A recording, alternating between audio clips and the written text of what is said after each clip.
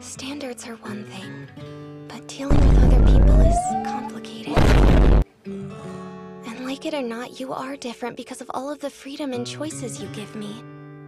What I'm trying to say is, from now on, to show my thanks, I'll put all my energy into being the best roommate ever. You'll be glad I came.